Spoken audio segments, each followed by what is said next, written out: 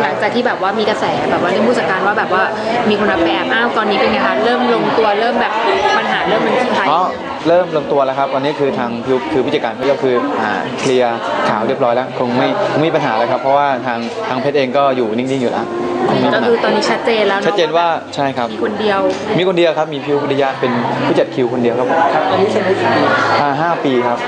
ใช่ อืม แล้วตอนนี้ละครล่ะคะเป็นไงบ้าง ตอนนี้ก็เริ่มเริ่มถ่ายแล้วครับซีอ่าซีซั่นสองนะครับ Six Sense นะครับแล้วก็อีกเรื่องหนึ่งก็คือชาติเจ้าพระยาก็เพิ่งบวงสรวงไปนะครับเล่นเป็นวังว่องไวนะครับเล่นเป็นถนัดมีดแต่ว่าอ่าคาแรคเตอร์มันจะแตกต่างกันไปยากนะไหมฮะครับเรื่องนี้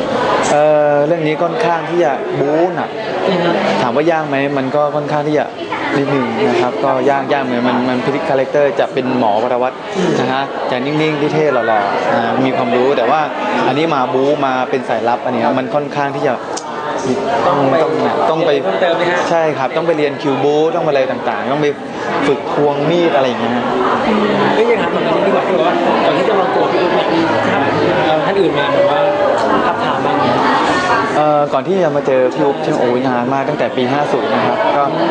ไม่ไม่ยังไม่ค่อยมีครับ ช่วงนั้นเป็นช่วงที่เพนยังเรียนอยู่เลย ยังไม่ค่อยมีใครเข้ามาแบบเอ้ยเออท้าบทามแต่ก็มีบ้างมีบ้างแต่เราก็ไม่ไม่ได้สนใจอะไรภาพนี้คือหมดเมื่อไหร่ถ้าปีนี้คือนี่เลยอันนี้คือ 55 เลยใช่ไหมครับ55 56 57 58 59 60 ประมาณ 60 60 2,500ใช่ประมาณนั้นครับ